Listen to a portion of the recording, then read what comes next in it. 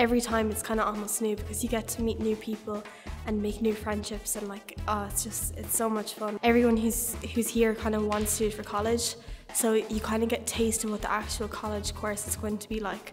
Everybody's in the same boat and you know everybody's so committed and dedicated and the staff are lovely like everyone's really nice. We covered everything from audition technique improv creating scenes yourself and really understanding what it is you're supposed to be portraying. Here is more like of a focus of trying to be you but trying to create a character and trying to get the different movement and different voice. Like I can find myself in a character now which I found very helpful. Having this experience and finding out what the course is like and what the staff are like in the facilities and all has been a really really beneficial experience